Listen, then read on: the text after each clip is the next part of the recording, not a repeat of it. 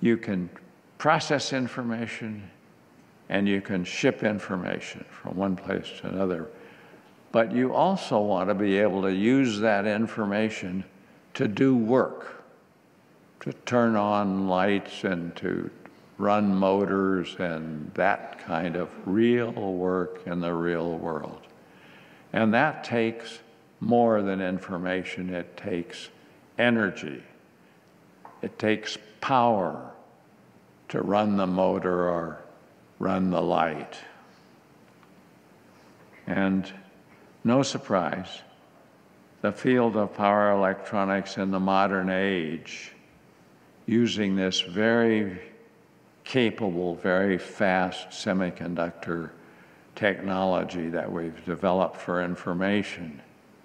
And there's been a slower but also remarkable evolution of power devices using semiconductors. And how you do power control with those devices uh, was developed right here at Caltech. Uh, this is David Middlebrook. He was my thesis advisor and excellent advisor, wonderful teacher, crisp, perfectly logical development of everything he did. And uh, later on in the 70s, he had another graduate student,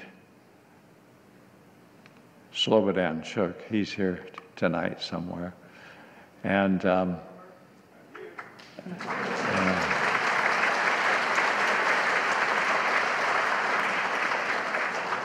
together, they figured out this field of power electronics.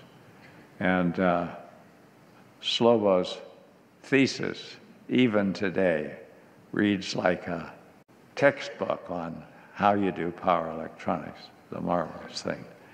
Well, one of the great things that happens when you have a, a new field that you're building in, in a university is you get students that just get it and go with it. And in their case, the student that really got it and went with it was Alan Cocconi, who got his degree in 1960, 1980. And uh, he was unwilling to go to work for a big company because he wanted to do power electronics.